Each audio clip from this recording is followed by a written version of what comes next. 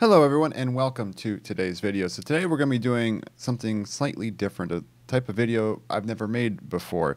So typically I'm live streaming on Twitch as many of you here know and sometimes it's difficult to edit that footage and convert it to uh, an edited summary YouTube video. But I got that I got this idea to do a little voiceover video. So this one I'm going to try it on is a little wildlife hike I did on stream on March 25th, 2021. And it was a, a really, really great hike. And I wanted to just you know, try this little video idea and share it with you. So let me know if you like this uh, idea. I plan to also do it with some of the workshop streams I've done lately and things like that to try to give little quick summaries of things we've done on stream. Uh, so yeah, let, let me know if you want me to make more things like this with some of my edited footage. But back to this hike here. We've been here previously on stream, and we saw nesting eagles. So the purpose of me coming out here today was to check on them and check on their nests. So usually if eagles are nesting, you could find you know hatchlings eventually but i haven't been here in like two months to check on them. So i really wanted to come by check it out and see if anything has changed and you know we could see a whole bunch of other things going on in our hike. And right off the bat we saw something to start with. And you know this is part of live streaming birding is trying to identify and I spotted this little bird hopping around in some trees and some limbs, and it was very difficult to get a good view and we couldn't identify it on stream. It wasn't until after stream and me putting this footage together where I could take it frame by frame and try to make it out. So here's the best shot, and I'm curious what you think. What might this bird be? My best guess would be a Cape May warbler from these frames. You can see this, the darker black lines separated by yellow on the head. Uh, in another frame, I can also spot the dark pointy beak. So it could easily be something else. I was arguing between American goldfinch, but the fact that it has an entire yellow um, rump and you know lightly colored head, and then that little dark line with the yellow above it, and also black on top, tells me it could be a Cape May warbler, which they are pretty common in this region, just haven't spotted one on stream before. So that was the first thing we saw. Again, this is the nice thing about doing these live is that we're identifying them live and we don't always know. We, are not always right. And that's one nice thing about doing these voiceovers now is that we can try to identify them later and it's not me fumbling around like in a live stream, waiting for chat to help me. But if you do like that identification stuff, be sure to check out the live streams. They're a lot of fun if you're not familiar with Twitch.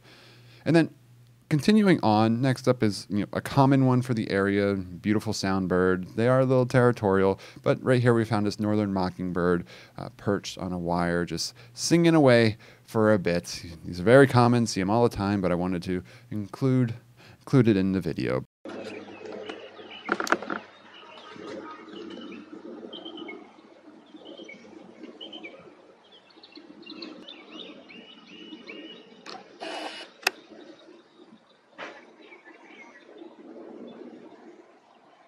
But now, next one up is a pretty rare one. So, this little sanctuary here exists. It's called the Malabar Scrub Sanctuary. Scrub Sanctuary. So, the Florida scrub is, you know, type of various foliage, plants, but also there's a very important bird that usually uses this as their main habitat, the Florida scrub jay.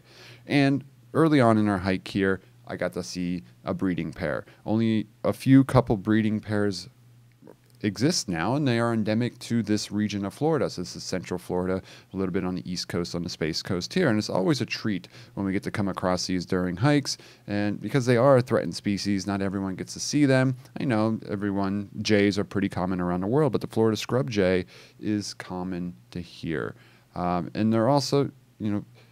They're at risk because they need a lot of handlers and help for the breeding season, meaning other scrub jays helping them, and they are overly friendly towards humans, and some humans have fed them, making them more friendly to humans, which isn't a great thing. So please don't feed them if you are ever out looking for the Florida scrub jay. But it is they are my favorite bird, and I always love when I come out to the sanctuary and I get to see them.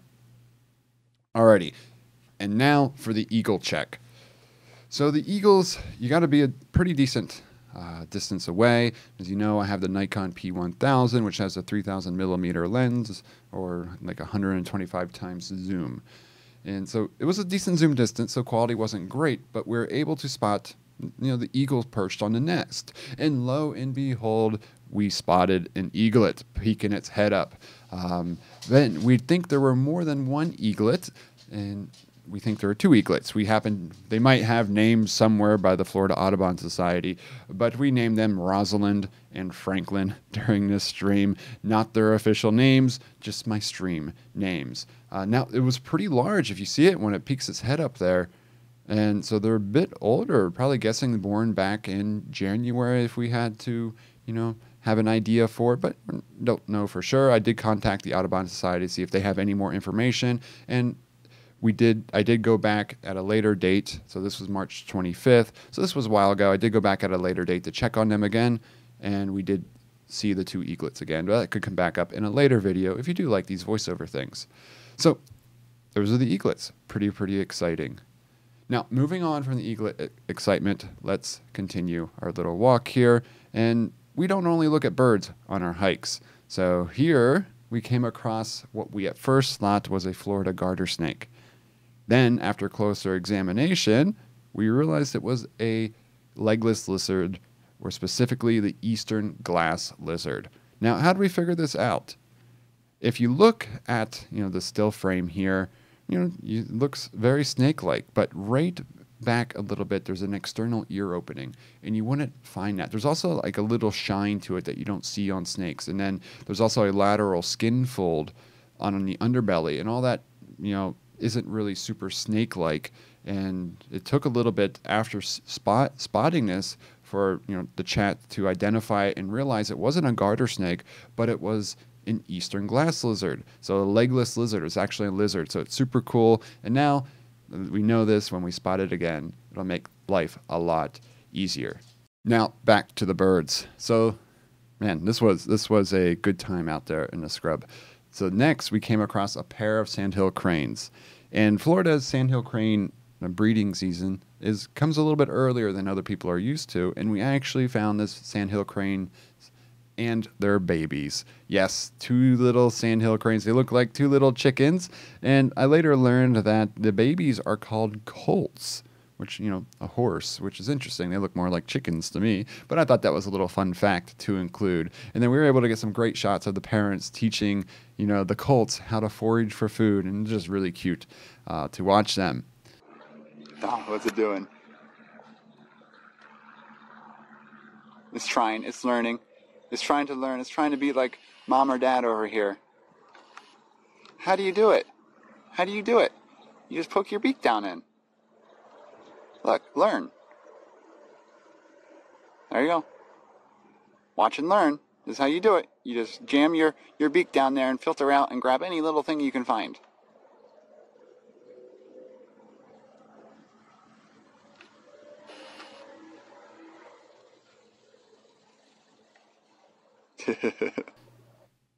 but this was a busy little area next to this little lake. It's pretty low water. We haven't had a lot of rain lately. Super dry out there, but found some other things in the area. Uh, so some, also some mottled ducks looking for dinner, and also an immature little blue heron off in the distance was waiting for food as well. So some mottled ducks and a little blue heron, always exciting when you get near the water. We are a little spoiled whenever we go and do the wetland streams, which is you know content after content after content. Out here to Scrub Sanctuary, we end up doing a four and a half mile hike to find what we found today.